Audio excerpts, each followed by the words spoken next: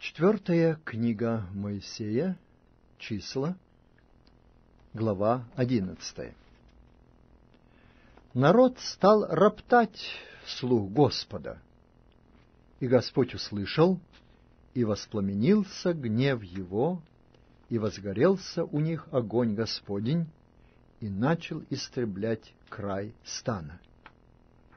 И возопил народ к Моисею, и помолился Моисей Господу, и утих огонь. И нарекли имя месту сему Тавера, потому что возгорелся у них огонь Господень. Пришельцы между ними стали обнаруживать прихоти, а с ними и сыны Израилевы сидели и плакали и говорили, «Кто накормит нас мясом?» Мы помним рыбу, которую в Египте мы ели даром, огурцы и дыни, и лук, и репчатый лук, и чеснок. А ныне душа наша изнывает, ничего нет, только манна в глазах наших. Манна же была подобна кориандровому семени, видом как бдолах. Народ ходил и собирал ее, и молол в жерновах или толок в ступе, и варил в котле, и делал из нее лепешки. Вкус же ее подобен был вкусу лепешек с елеем. И когда роса сходила на стан ночью, тогда сходила на него и манна. Моисей слышал, что народ плачет в семействах своих, каждую дверей шатра своего, и сильно воспламенился гнев Господень, и прискорбно было для Моисея. И сказал Моисей Господу, «Для чего ты мучишь раба твоего? И почему я не нашел милости пред очами твоими, что ты возложил на меня бремя всего народа сего? Разве я носил в чреве весь народ сей? И разве я родил его, что ты говоришь мне, неси его на руках твоих, как нянька носит ребенка в землю, которую ты с клятвою обещал отцам его?»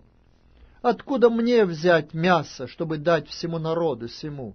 Ибо они плачут предо мной и говорят, дай нам есть мясо. Я один не могу нести всего народа сего, потому что он тяжел для меня. Когда ты так поступаешь со мною, то лучше умертви меня, если я нашел милость пред очами твоими, чтобы мне не видеть бедствия моего.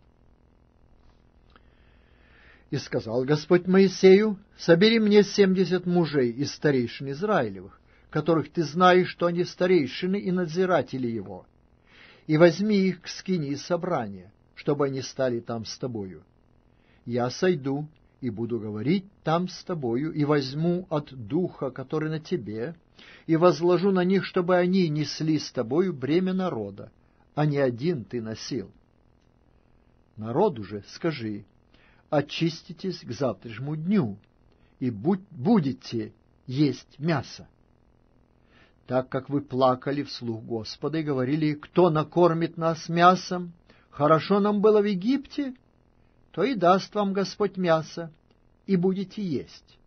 Не один день будете есть, не два дня, не пять дней, не десять дней и не двадцать дней, но целый месяц — пока не пойдет оно из ноздрей ваших и не сделается для вас отвратительным за то, что вы презрели Господа, который среди вас, и плакали перед Ним, говоря, «Для чего было нам выходить из Египта?»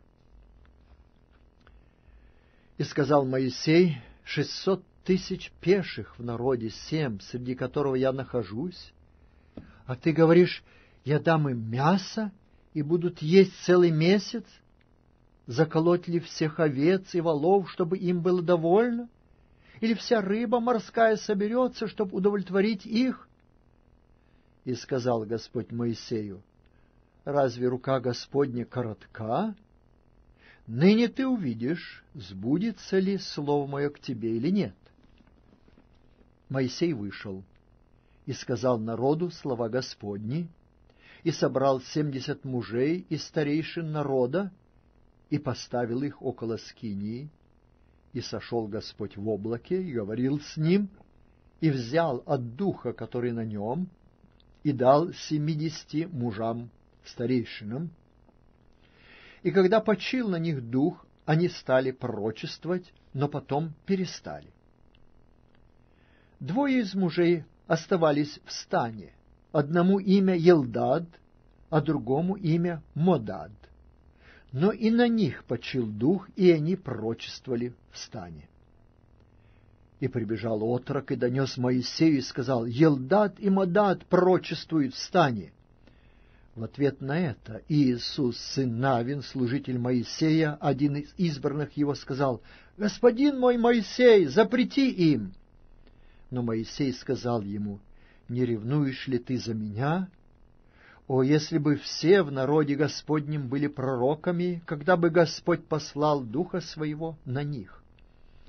И возвратился Моисей в стан, он и старейшины Израилевы, и поднялся ветер от Господа, и принес от моря перепелов и набросал их около стана на путь дня в одну сторону и на путь дня в другую сторону около стана, на два почти локтя от земли.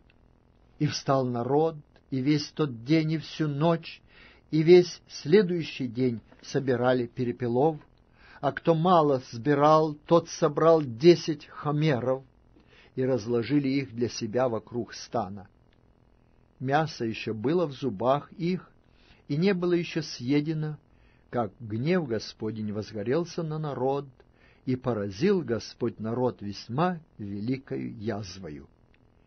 И нарекли имя месту сему Киброд Гаттава, ибо там похоронили прихотливый народ.